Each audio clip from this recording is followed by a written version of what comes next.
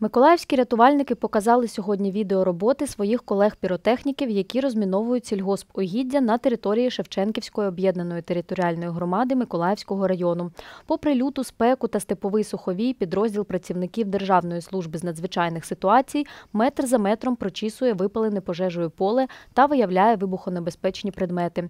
Картину доповнюють залишки нещасної худоби, яка забрела на небезпечну місцину та загинула. Піротехнічний підрозділ викликав фермер, який тут господарює, бо сам виявив протитанкові міни. Рятувальники кажуть, що це єдино правильні дії у разі знаходження небезпечних подарунків, залишених окупантами. Нічого не чіпати та телефонувати на лінію 101.